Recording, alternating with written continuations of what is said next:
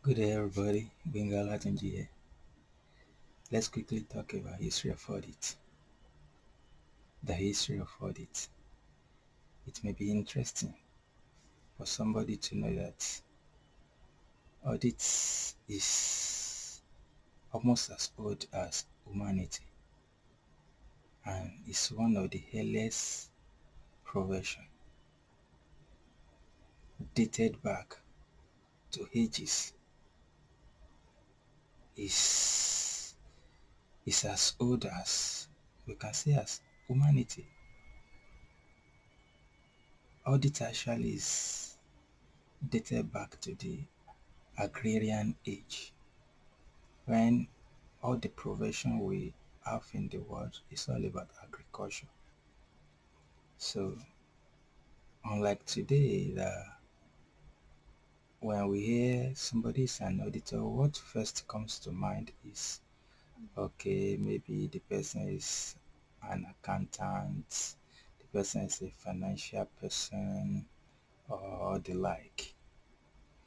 But it's interesting to know that audit is actually coming from the background of agriculture. Audit is actually coming from the background of agriculture and Today, audit has its branches almost every sphere of life. So when we are talking about an auditor, an auditor does not necessarily mean somebody that is financial literate. Not necessary an auditor must have some character that actually qualifies him or her to be an auditor. So, who is an auditor? An auditor basically is an intermediary. An auditor is an intermediary. That is somebody that comes between two parties. And one of the character of an auditor is that he or she must be very objective, must be able to form his own independent opinion without biases. And that is one of the critical character that an auditor must have. Not necessarily he or she being financial literate. So the history is actually about the tenant and the landlord. The tenant and the landlord. Uh, in the olden days, the kings possessed the land. The kings possessed the land. And the tenants are the people, the farmer, the peasant farmer that worked in the farm just like we have currently in the world. The situation still exists even till now. Those that have the land, they do not work. Those that work, they do not have the land.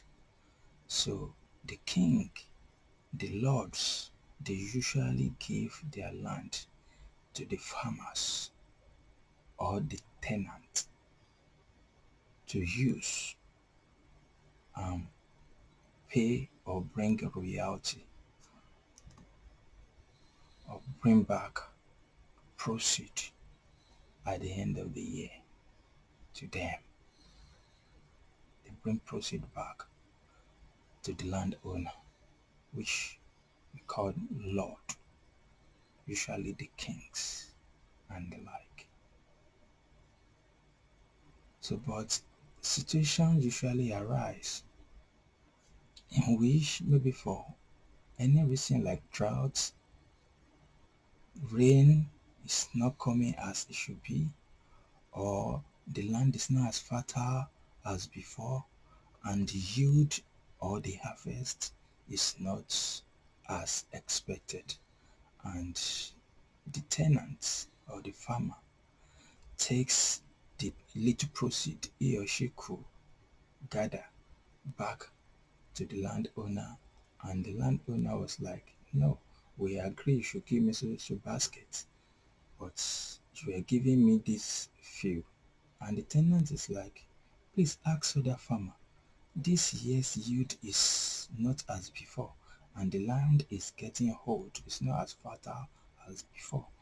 But because the landowner doesn't go to work or farm they could not believe. And the tenant and the landlord usually have issues of trust of reliability of information and the return of proceeds. So because of this they say okay how can we find solution to this? Let's look for a person that is trustworthy that is objective and that could be independent to come between us.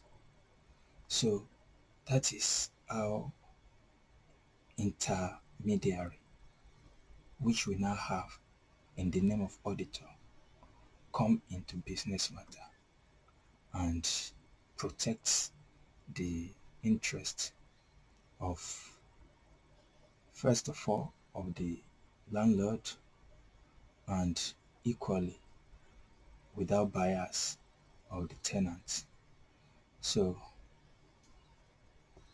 audit basically is coming from the agricultural background i hope this helps somebody.